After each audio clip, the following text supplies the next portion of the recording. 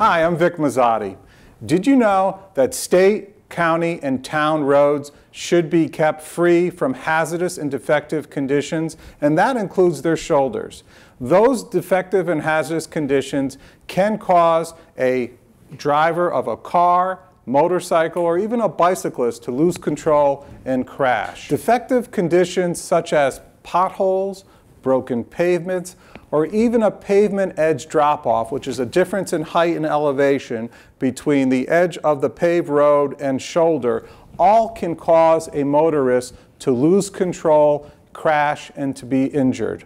Let me tell you about a lawsuit that we commenced against the state of New York involving an individual who was severely injured when, after work, he went for a bike ride and he was riding on a state road and he encountered a defective road pavement. He encountered a pavement edge drop off as well as broken pavement. His front tire dropped down into that defective pavement and caused him to lose control.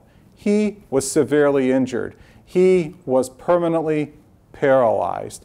After that lawsuit was commenced, we went to trial, and a court of claims judge found the state of New York responsible for that needless crash. It's important to remember that there are strict time limitations that need to be followed in order to file a claim against the state of New York, county, or town that was responsible for maintaining that roadway.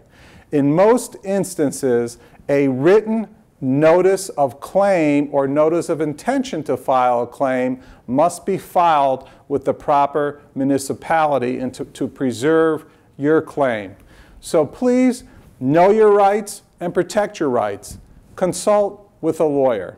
I hope you found this information helpful and look forward to uh, watching other Martin Harding and Mazzotti informational videos. Thank you very much.